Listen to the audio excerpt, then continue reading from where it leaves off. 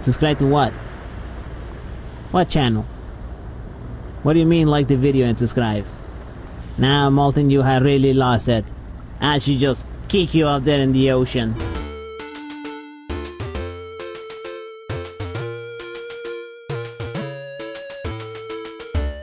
Hello there and welcome to another video. My name is Sparckman and today we're going to create a very heavy robot. First let me show you the demo. There it is. It's a robot. You can see that uh, he is very heavy. Now this sprite is from Hyperlight Drifter. So let's open the example file, which you can find under the description below. Now if you don't know what software I'm using for making games, there is a link down below where you can download the free version. There is also a link to the paid version, which allows you to create commercial games, games you can sell. Alright, so let me show you the assets. I'm going to zoom out. You can see that uh, this is just a background. And I have two active objects on the screen. These are just pictures. Now they're called active objects because they can be animated. Right now they're set to static objects. Here's the shadow we're gonna use for the robot. Let's go to Adobe Photoshop to get our frames. Now you don't have to use Photoshop, you can use anything you like. There is a lot of free programs out there. Actually I made a vlog about that last night. I should upload that uh, after this video. Okay, so here is a frame one, two, three, four, five, six. So I'm gonna copy this, paste it over here. And uh, black is my invisible color, that's why it's not showing up.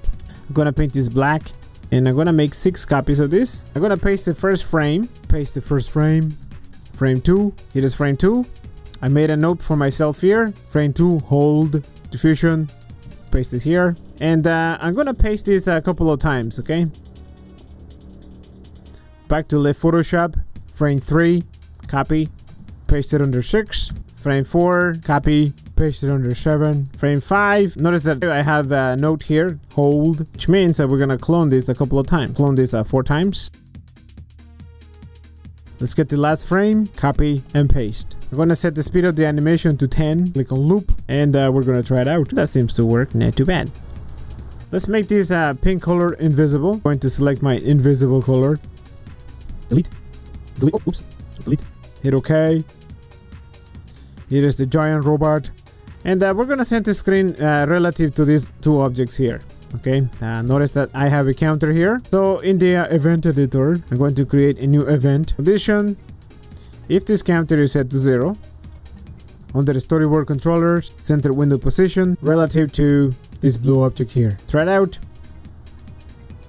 And you can see that that kind of works already. Let's double click on the robot again. Now when the foot makes contact with the floor again is frame 7 uh, new condition. Let's compare it to the animation frame. Animation frame has to be 7.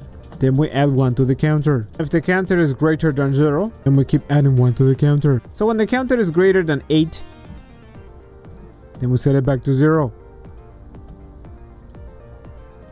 Let's bring the counter down. Okay, you can see that that works not too bad. Double click on the giant robot again.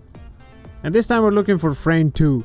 Copy this, change it for frame 2 try it out you can see that uh, in both frames the counter moves. Let's make a new condition. If the counter is greater than 0 then we center the display relative to the green object. Now if you run that now you can see that that sort of works. Let's go to line 1 under the green object set the position of the object equals the position of the blue object. Okay, you can see that uh, there is no shaking now. Let's make another condition. Line 7, counter greater than 0. Let's do an insert under the timer every 6 milliseconds. We're going to change the position of the green object, change the X position.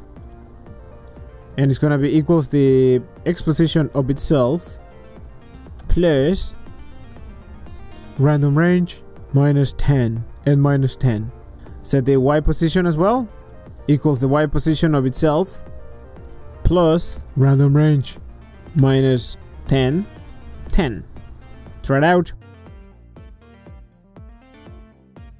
and you can see that that works not too bad Alright, so you can see that this is uh, extremely simple, there is nothing to it. Thanks for watching, uh, don't forget to check out my other channel, the Sparckman Vlog. Like this video, okay, if you're not subscribed to this channel, subscribe today.